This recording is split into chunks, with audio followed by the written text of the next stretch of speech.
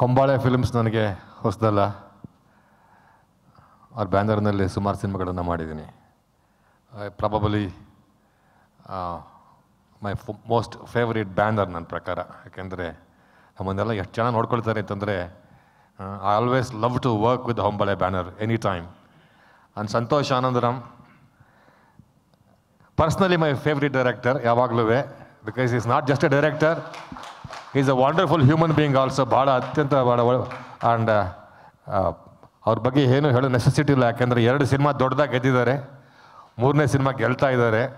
So hat trick director ಅಂತ ಯಾವತ್ತು ಕರಿಬೇಕು ಅಂತ ನಾನು ವೆಯ್ಟ್ ಮಾಡ್ತಾ ಇದ್ದೀನಿ ಅಷ್ಟೇ, ಅದಕ್ಕೋಸ್ಕರ.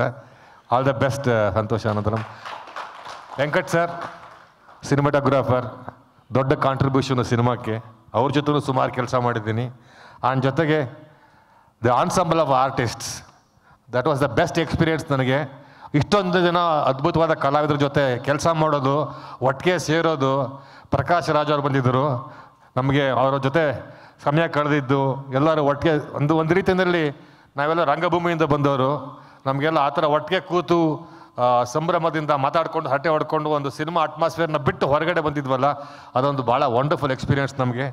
And Vijay sir Santosh, Anant and Appu ಬಗ್ಗೆ ಅಫ್ಕೋರ್ಸ್ ಅಪ್ಪು, ಅಪ್ಪುಜಿ, ನಿಮ್ಮ ಮೊದಲನೇ ಸಿನಿಮಾ ಅಂತ ಜೊತೆಗೆ ಮಾಡಿದ್ದೀನಿ.